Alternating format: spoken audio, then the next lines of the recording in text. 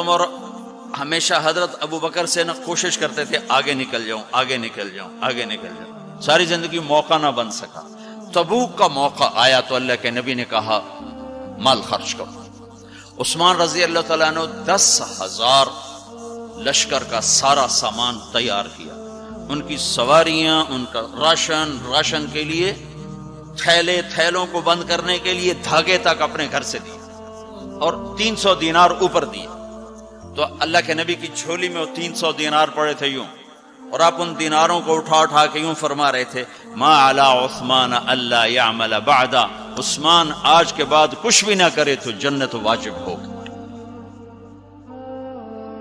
तो उमर कहने लगे, आज मैं अबू बकर को काट सकता हूँ। आज मैं उससे आगे निकल सकता हूँ कि वो आजकल गरीब है, मैं मालदार हूँ। तो थोड़ा लाएगा, मैं ज़्यादा लाऊँगा तो मैं बढ़ जाऊँगा। लिहाजा उन्होंने अपने माल का आधा हिस्सा, आधा घर में रखा और आधा लेकर आए। अबू बकर ने झाड़ू फेर दिया, जो कुछ तो वो सारा समेट के ले आए। जब दोनों प्रॉपर्टी सामने रखी गई तो हौस उमर की बहुत ज़्यादा नज़र आ रही। अबू बकर की बहुत थोड़ी नज़र आ रही। लिहाजा हज उमर बड़े इतमान में खड़े के आज जीत खत्ताब के बेटे की है। मैं कुर्बान जो अल्लाह रसूल तो जानते हैं कि कौन क्या करके आया है। तो मेरे नबी ने सवाल ही बदल दिया, जो उस मौके का सवाल ही नहीं। कोई आदमी मस्जिद में चंदा देने जाए मदरसे में चंदा देने जाए। कहा जी मौल साहब ये एक लाख रुपया है मदरसे के लिए, मस्जिद के लिए। आगे मौली साहब कहें, पीछे कितने पड़े हुए हैं? तू कहेगा ये भी वापस करो मैं तो थोड़ी नीयत है जो कोई चक्कर लगता है कि तुम ठेकेदार हो, मगर अली शायद अभी पीछे कितने पैन ये मौके का सवाल है ही नहीं। मौली साहब को चाहिए, जी जजाकल्ला ये लीजिए रसीद, बिस्मिल्लाह, फिर भी मौका, आए तो देते रहें। तो मेरे नबी ने पूछना यह था, अबू बकर कितना लाए हो? उमर कितना लाए हो? और यही इस मौके का सवाल है। लेकिन अल्लाह रसूल जानते हैं कि किसके माल में वज़न ज़्यादा है।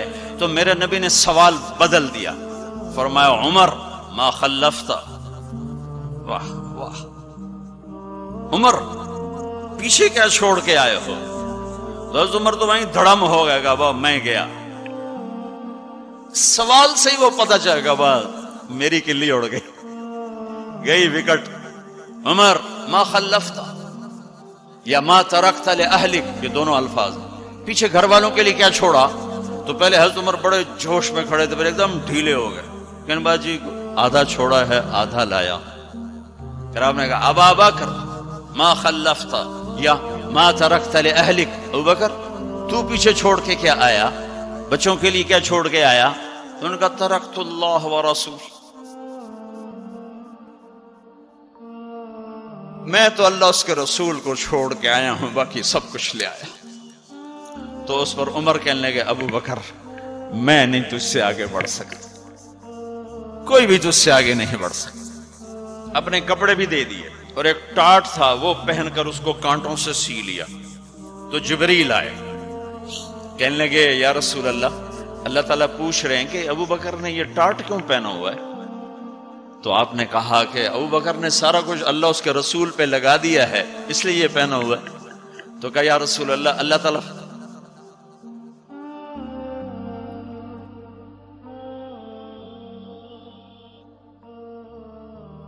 अल्लाह ताला फरमा रहे हैं, अबू बकर से पूछो, मुझसे राज़ी तो है? मुझसे राज़ी तो है? इस फकर में मुझसे राज़ी है? मैं तो इतना सफ़र करके आया हूँ, हालाँकि अभी चार दिन पहले मैं बारह मुल्कों का, दस मुल्कों का सफ़र करके आऊँ। सारी हड्डियों में दर्द है। मैं इसलिए आया हूँ कि चलो, कोई बख्शिश का बहाना मिल जाए, कोई बख्शिश का बहाना मिल जाए, अल्लाह राज़ी हो जाए। आप सारे इसलिए हज पे जा रहे हो कि अल्लाह राज़ी हो जाए। जो सारे जहान से कहता है, मुझे राज़ी करो, वो कह रहा है, अबू बकर से पूछो, मुझसे राज़ी तो है। तो आपने कहा, अबू बकर तेरा रब तुझे सलाम भी कह रहा है और पूछ रहा है कि, राज़ी हो? तो अबू बकर की चीखें निकली। मैं अपने रब से राज़ी, मैं अपने रब से राज़ी, मैं अपने रब से राज़ी। मेरे भाइयों, बहनों, ज़िंदगी ऐसे गुजार के मरो कि अल्लाह को मिले तो अल्लाह खुश हो के मिले